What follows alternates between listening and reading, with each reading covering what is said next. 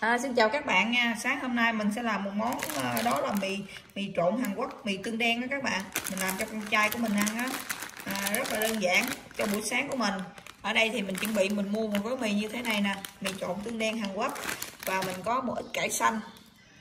Đó cải xanh rất là ngon nha. Và mình có một cái trứng trứng gà và mình ờ, có một, một ít xúc xích để mình làm cho bé nó ăn ờ, buổi sáng đầy dinh dưỡng đó các bạn bây giờ mình sẽ tiến hành làm cho các bạn xem cái món mì trộn tương đen như thế nào cho các bé cùng ăn nha. Bây giờ cải thì, thì mình sẽ cắt ra. Ở đây thì mình đã rửa những cái cải này rồi. Bây giờ thì các bạn sẽ cắt khúc ra vừa ăn. Để mình à, mình để cho mình trụng cho bé nó ăn đó. nó có đầy dinh dưỡng rau này kia. Đó. Lá nhiều quá thì mình lấy một ít thôi. Đó, các bạn sẽ sử dụng ít rau như thế này cho bé nó ăn.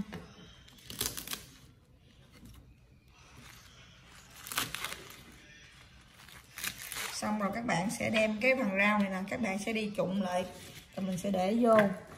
Rồi à, xúc xích đó, thì mình nấu một gói mì thì mình sẽ lấy một cây xúc xích cho cho bé nó dùng.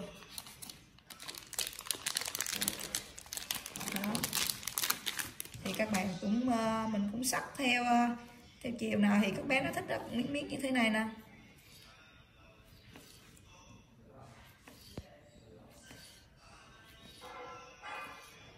Rồi xong rồi mình sẽ để như thế này rồi.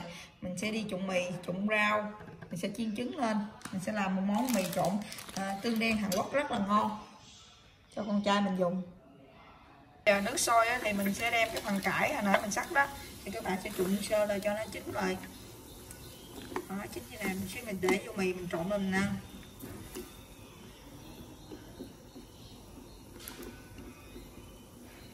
Nó rau rất là xanh và ngon luôn.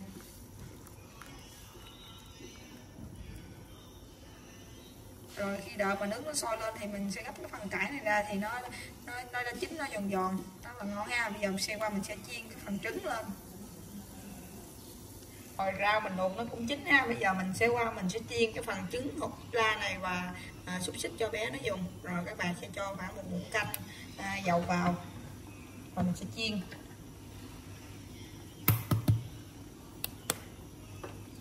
Bạn sẽ cho cái phần trứng vào đây, mình sẽ chiên lên một cái trứng nút la cho bé nó dùng. Buổi sáng nó đầy năng lượng.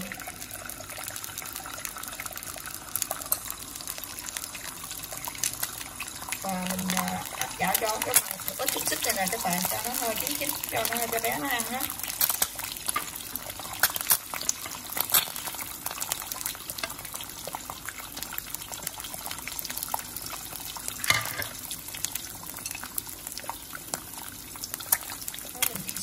Công cái phần này để vô dĩa mì cho hấp dẫn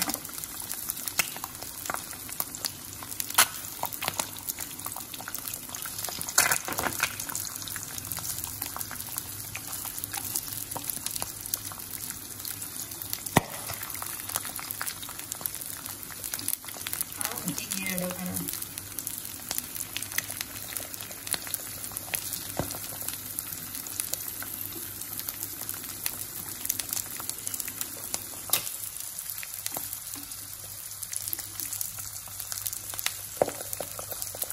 đó xúc xích thì mình chiên nó sơ sơ nó vàng vàng như thế này là được rồi. Mình sẽ gấp ra, mình để ngoài dĩa. Chút xíu mình sẽ để lên dĩa mì cho bé nó ăn nha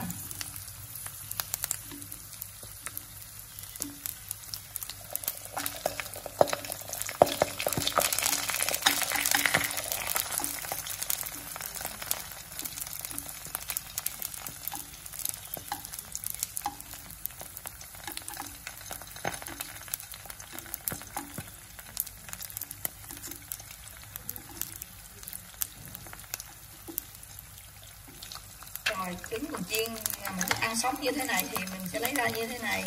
À, bé nhà mình nó thích ăn như thế này nè, mình chiên như là xong rồi. Mình sẽ lấy ra.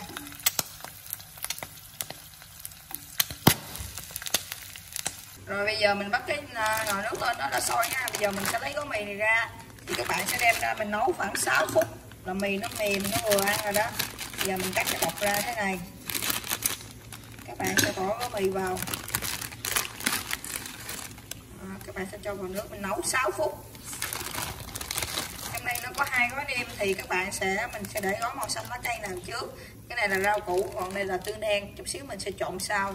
Bây giờ mình sẽ xé cái cái, cái gói màu xanh này ra. Mình sẽ nấu cùng với ờ, gói mì này luôn. Đó bạn sẽ nấu chung luôn. Mình sẽ nấu trong vòng 6 phút. Mì nó sẽ mềm lại ăn rất là ngon luôn các bạn.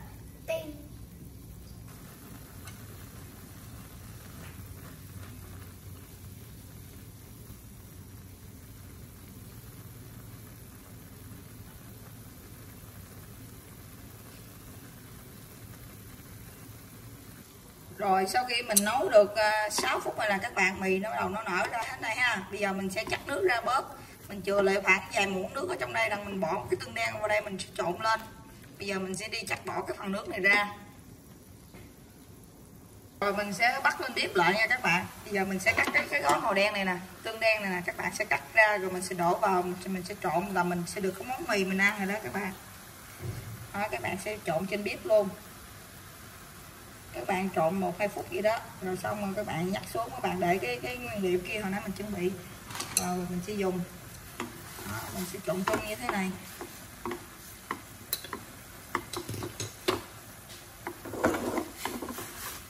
Trộn như vậy cho nó thấm cái tương đen vào cùng mì đó, nó sẽ cũng ngon lắm.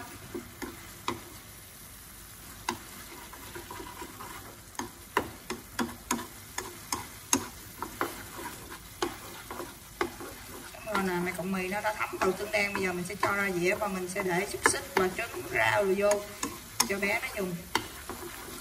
Người lớn dùng cũng rất là ngon luôn nha, rất là hợp với người lớn và trẻ em. Rồi xong một mì tương đen. Rồi bây giờ mình sẽ cho nó ra dĩa ờ, một dĩa mì. Và mình thưởng thức. Rất là ngon luôn các bạn ơi xíu nữa mẹ của mình sẽ ờ, để để xúc xích vô để trứng gà và để rau vô mình sẽ hưởng hết mình sẽ quảng cáo. Xong rồi các bạn sẽ cho cái phần rau hồi nãy mình đã luộc vào đây nè. Các bạn sẽ cho lên vào cái dĩa của mình. Đó, các bạn rau nhiều thì mình sẽ chuẩn bị phần rau nhiều mình ăn. Ăn rất là bổ cho tốt sức khỏe của mình nha. Rồi các bạn sẽ cho cái phần xúc xích và trứng hồi nãy mình đã chiên rồi thì các bạn sẽ cho vào đây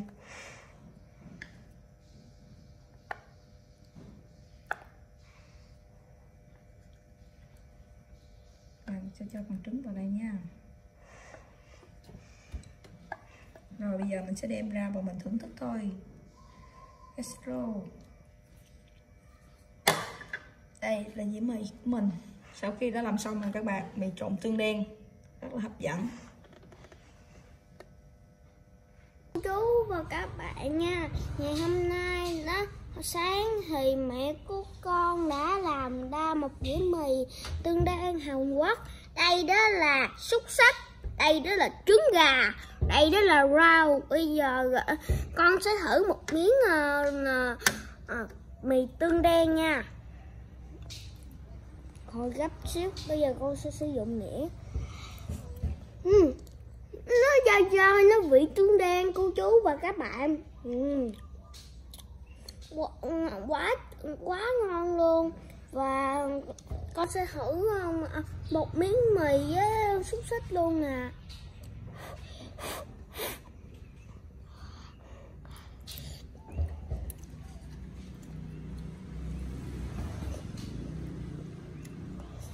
uhm. quá ngon cô chú và các bạn uhm. Đó, con sẽ gấp một miếng rau và ăn chung với mì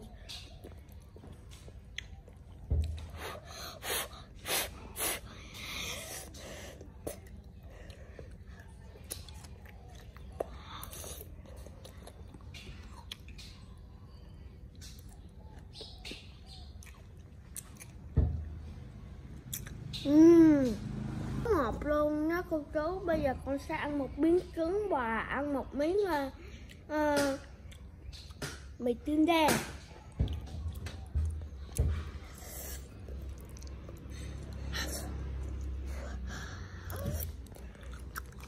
Uhm, quá ngon luôn cô chú và các bạn. Cô chú đó buổi sáng cô chú làm mì tương đen này ăn rất là bổ khỏe luôn cô chú muốn để em xúc xích thay rau bò trứng đó thì uh, bỏ vô sẽ ăn rất là ngon. Đó. Mẹ của con làm bước là hấp dẫn luôn. Đó. Sợi mày rất là dai ăn rất là dai và vị của tương đen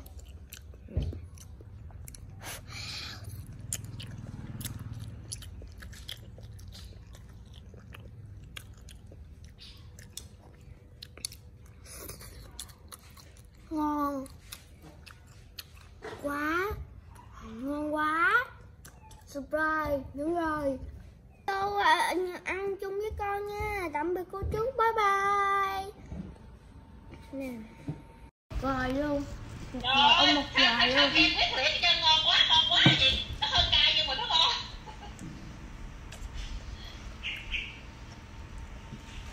ngày sau ngoại làm không hấp dẫn tí nào đây là thiếu nguyên liệu ngoại là gì?